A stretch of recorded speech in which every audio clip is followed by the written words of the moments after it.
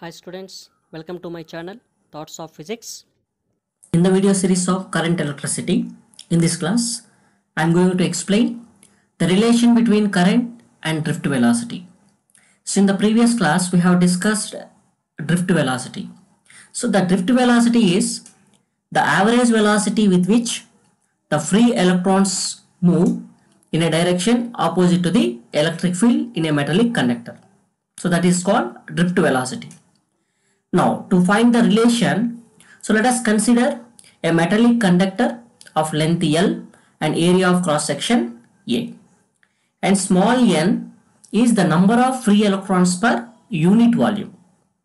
And when a potential difference V is applied across the ends of the conductor. V is the potential difference applied across the ends of the conductor.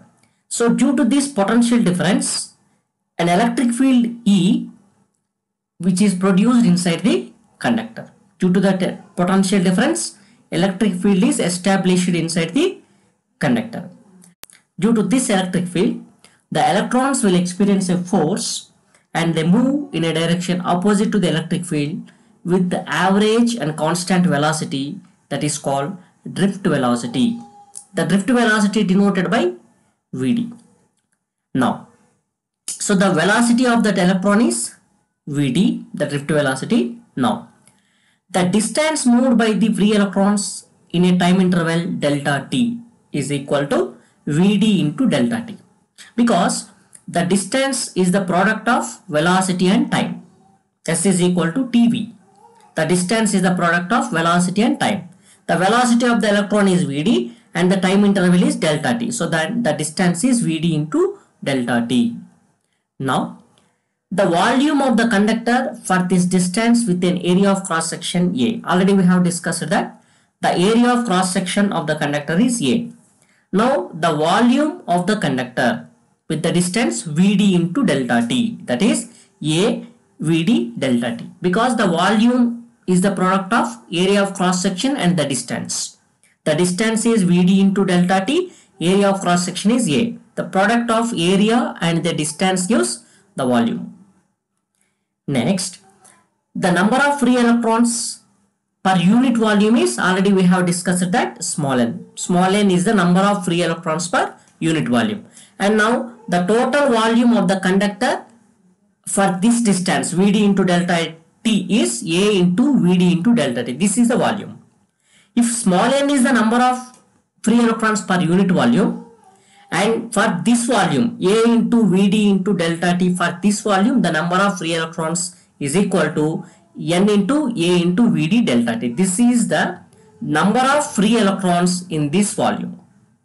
In this volume A into Vd into delta t the number of free electrons available is n into A Vd delta t. This is the number of free electrons drifting in the volume A into Vd into delta t. So these number of free electrons are moving in a direction opposite to the electric field.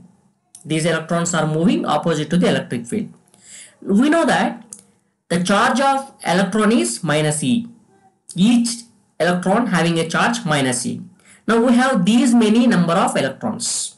So the total charge of these many number of electrons is equal to minus E into this number of electrons. The total number of electrons into the charge of each electron gives the total charge.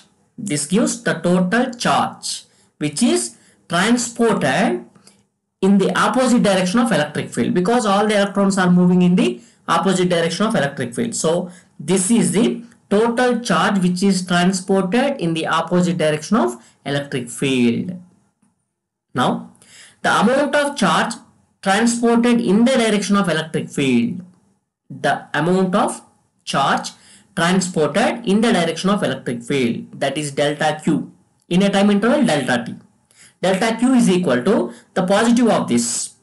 This is minus e na delta t. This is the charge transported in the opposite direction of electric field. The charge transported in the direction of electric field is the positive sign. That is e Na delta T as it is but with positive sign.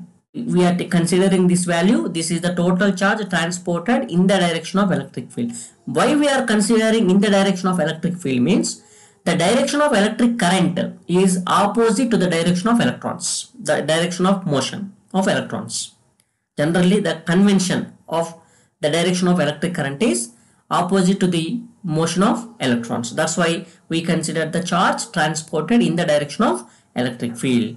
Already we know that I is the electric current. I know the formula of electric current is the rate of flow of electric charge that is I is equal to delta Q by delta T. Delta T is the time interval. Within the time interval delta T, the charge transported in the direction of electric field is that is delta Q.